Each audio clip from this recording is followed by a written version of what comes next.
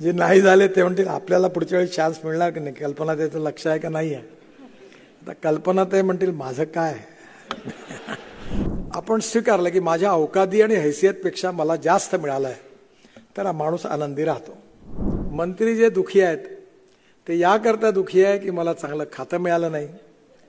आणि आता जे होणार होते ते याकरता दुखी आहे की आपला चान्स आता येतो का नाही एवढी गर्दी झाली. पहिले तयारच होता सूट गिट शिवून तयार होते बिलकुल. केव्हा येते आणि केव्हा जातो. आता त्या सुटाचं काय करायचं प्रश्न आहे. आणि त्यामध्ये युनोमध्ये भूतानचे प्रधानमंत्री. मी एकदा भूतानला गेलो मी त्यांना भेटलो आहे. आणि त्यांनी आता युनोमध्ये असा विषय मांडला तो आणलाय डोमेस्टिक हॅपी ह्युमन इंडेक्स हा खूप महत्त्वाचा विषय आहे. आपण सगळेजण दुःखाचा महासागर आहे. कोणीच खुश नाही. जे आता निवडून आले अकॅडमिक काउन्सिलमध्ये ते कदाचित त्यांना वाटेल पुढं काय आपलं? जे नाही झाले ते म्हणतील आपल्याला पुढच्या वेळी चान्स मिळणार की नाही? कल्पना त्याचं लक्ष आहे का नाही आहे? आता कल्पना ते म्हणतील माझं काय? म्हणजे प्रत्येकासमोर प्रश्न आहे.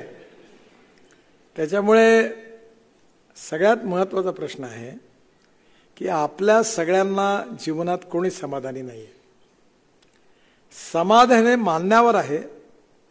आणि आपण स्वीकारलं की माझ्या अवकादी आणि हैसियतपेक्षा मला जास्त मिळालं आहे तर हा माणूस आनंदी राहतो. नाही तर जे नगरसेवक आहेत ते याकरता दुखी आहेत की आमदार झाले नाहीत. आमदार याकरता दुखी आहेत की ते मंत्री झाले नाहीत. मंत्री जे दुखी आहेत ते याकरता दुखी आहे की मला चांगलं खातं मिळालं नाही. आणि आता जे होणार होते ते याकरता दुखी आहे की आपला चान्स आता येतो का नाही एवढी गर्दी झाली. पहिले तयारच होता सूट गिट शिवून तयार होते बिलकुल. केव्हा येते आणि केव्हा जातो. आता त्या सुटाचं काय करायचं प्रश्न आहे. गर्दी झाली. मी बरंच रामदासजीने म्हटलं की या हॉलची कॅपॅसिटी बावीसशे आहे.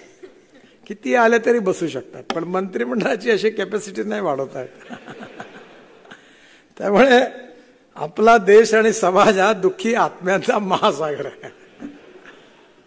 सुख मान्यावर आहे त्यामुळे domestic happy human index person to person different आहे. प्रत्येकाचा वेगवेगळा आहे. चांगलं शुद्ध स्वच्छ पाणी मिळालं पाहिजे चोवीस तास वीज मिळाली पाहिजे खेळायला मैदान मिळालं पाहिजे चांगलं हॉस्पिटल मिळालं पाहिजे मुलाला रोजगार मिळाला पाहिजे चांगलं घर असलं पाहिजे घरामध्ये झाडं असली पाहिजे शुद्ध हवा असली पाहिजे प्रदूषण नको. शंभर गोष्टी काढता येतील. आणि म्हणून domestic happy human index for particular person वेगवेगळा राहणार.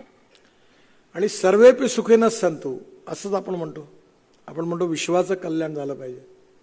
म्हणजे याचा हॅपी ह्युमन इंडेक्स जो आहे याच्या आधारावर सगळेच सुखी झाले पाहिजे सगळे समृद्ध संपन्न झाले पाहिजे सगळे समाधानी झाले पाहिजे.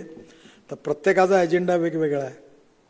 आणि म्हणून त्याच्याकरता आपल्या इतिहास संस्कृती आणि विरासातून मिळालेले मूल्य महत्त्वाचे आहेत. राष्ट्रवाद आपला आत्मा आहे. गुड गव्हर्नन्स अँड डेव्हलपमेंट आपलं मिशन आहे. आणि अंत्योदय the progress and development of the last man of the society who is socially economically educationally backward Pandit Deendayal उपाध्यायांनी त्याला अंत्योदय म्हटलं आहे. आणि म्हणून समाजातल्या तळागाळातला जो शेवटचा माणूस आहे तो सुखी कसा होईल? याचं मिशन म्हणून आपण परमेश्वराने आपल्याला संधी दिली शिक्षण दिलं डिग्री दिली रोजगार मिळाला. त्या उपयोगातून आपण काय करू शकतो याचा विचार करणारा शिक्षक आणि त्याचं अनुकरण करणारा विद्यार्थीच सशक्त भारताची निर्मिती करणार आहे.